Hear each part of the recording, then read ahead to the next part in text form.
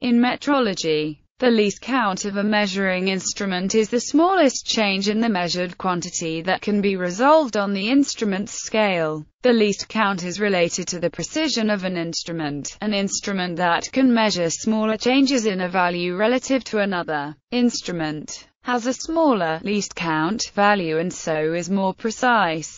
Any measurement made by the instrument can be considered repeatable to no less than the resolution of the least count. The least count of an instrument is inversely proportional to the precision of the instrument. For example, a sundial may only have scale marks representing the hours of daylight, it would have a least count of one hour. A stopwatch used to time a race might resolve down to a hundredth of a second, its least count. The stopwatch is more precise at measuring time intervals than the sundial because it has more counts in each hour of elapsed time. Least count uncertainty is one of the sources of experimental error in measurements. Least count error. The smallest value that can be measured by the measuring instrument is called its least count. Measured values are good only up to this value. The least count error is the error associated with the resolution of the instrument. If we use a meter scale for measurement of length, it may have graduations at 1 mm division scale spacing or interval. A vernier scale on caliper may have a least count of 0.1 mm, while a micrometer may have least count of 0.01